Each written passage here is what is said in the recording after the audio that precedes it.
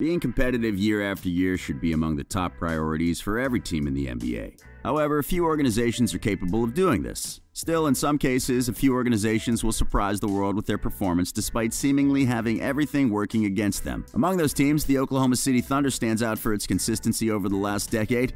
Despite being a relatively young franchise, the team has managed to go against all odds by making smart moves that have allowed it to keep winning most of its games. However, after a season in which they went far beyond expectations, everything seems to indicate the franchise is ready to start building a new era of basketball. And after a long search, it has found the man it wants to be the leader of that new era Coach Mark Daigneault. But who is he? Where does he come from? And how can he help rebuild the Thunder? Welcome to Courtside. Today, we're taking a look at OKC's current situation, Daigneault's coaching career, and why the team believes he's the right person to guide the team going forward. After Oklahoma City announced it had reached an agreement with Billy Donovan to part ways following the conclusion of the coach's contract, the team immediately started to search for his replacement. And after two months, it finally found one, though it wasn't necessarily a household name. Mark Daigneault was presented as the fourth head coach in Thunder history on November 11th, and if you hadn't heard too much about him before, it's because this will be his first job as a head coach in the NBA. That way, he joins Steve Nash, Nate Bjorkgren, and Stephen Silas as part of the group of rookie coaches that will make their debut next season. However, that doesn't mean he lacks experience guiding a basketball team. Mark started his coaching career immediately after earning his bachelor's degree in 2007 and remained at the coaching college level before getting closer to the NBA in 2014. That year, he was hired as the first head coach of the Oklahoma City Blue, the Thunder's G League affiliate, starting what would be a five year tenure guiding the team. During that period, he became the winningest coach in franchise history, while also leading the Blue to its two most successful seasons. His effort in the G League helped him earn a promotion in 2019 when he became part of Donovan's staff as an assistant coach.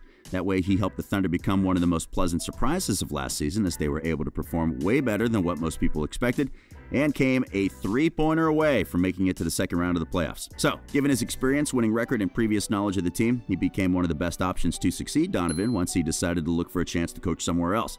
But what are the exact things that helped him convince the team he was the right candidate to become its next head coach?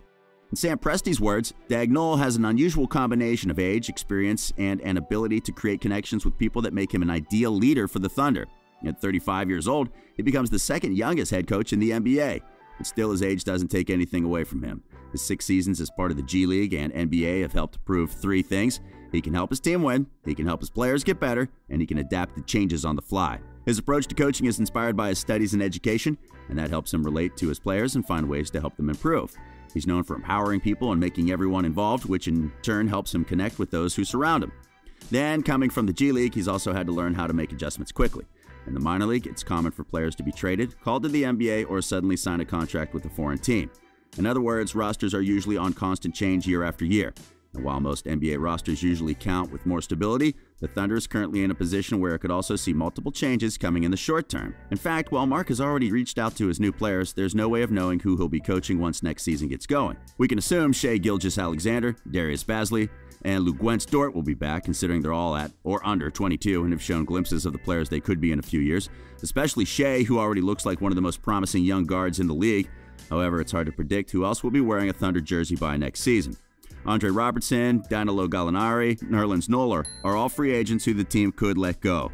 Dennis Schroeder and Steven Adams will both enter the final year of their respective contracts and could garner interest from other teams in trade talks.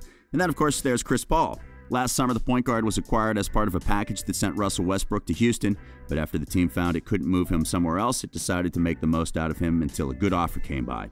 At the moment, most people believe the Thunder would be close to the bottom of the Western Conference, However, Paul made sure that that wasn't the case. The point guard had an excellent season that helped him regain his status as a star while also leading the team to the fifth seed and last minute of Game 7 against the Rockets. His performance and the way he was able to raise the team increased his value and turned him into one of the most sought after players in the trade market. And while OKC could still decide to run things back for another season, the departure of Donovan and the hiring of Mark, as well as the high interest Paul has garnered from multiple teams, seemed to indicate otherwise. So, unless something unexpected takes place in the coming weeks, we should expect to see CP3 with a different team next season, while the Thunder should receive a package that includes a mix of young players, future draft picks, or veterans on short term deals. And even though that may not sound exciting, it should be something good for the team. While OKC managed to make a playoff appearance and almost reach the second round, the truth is that management was expecting to start a rebuild last season. And that was evident as soon as Russell Westbrook and Paul George were traded away, and it was also a reasonable thing to do considering the team had been unable to make it out of the first round for three straight seasons. But even though the team was able to benefit a lot from last season's results, it's safe to say the best would be to commit to building the roster from the ground up. If the Thunder can't get past the first round of the playoffs and can't acquire any other superstars either, the best would be to acquire assets to build for the future. The front office knows that, and that's the reason why the franchise acquired an immense haul of future draft picks. That way, it'll be able to add young players to the roster that can grow along with Shai. We shouldn't expect it to repeat what it did between 2007 and 2009, though. During those years, Oklahoma City was able to acquire Kevin Durant, James Harden, Serge Ibaka, and Westbrook through the draft. But even while we know Presti is excellent at building a roster, it's hard to imagine the team being able to repeat such a feat. Still, with more than 10 future draft picks, the team should be able to add some intriguing pieces. If things work out well, it could return to playoff contention in a few years, and that's where Daigneault will play a key role. It won't matter how many talented players the Thunder is capable of adding to its roster if it doesn't count with a coach that can push those players and put them in a position where they can become the best version of themselves. But the team believes Mark is the right person to do that, and they already let him know the plan is to build for the future. According to the coach, Presti and his team never talked about a quick turnaround for them, nor about producing wins immediately. And that's a good sign. It says a lot about the team's culture. We've seen how other organizations have tried to rush things in the past and the poor results that such moves have produced. But the Thunder have never been that kind of team under Presti's leadership. While other franchises have become known for their instability and for hiring a new coach every two years, OKC has preached patience and continuity over time. Donovan coached for five seasons before deciding to leave, and before him, Scott Brooks guided the team for seven years. So it's safe to say we'll see Daigneault with the team for a few more seasons. And considering he's already been around for six years, the transition should go smoothly with him on the sidelines. But the biggest challenge will take place a few weeks away from now.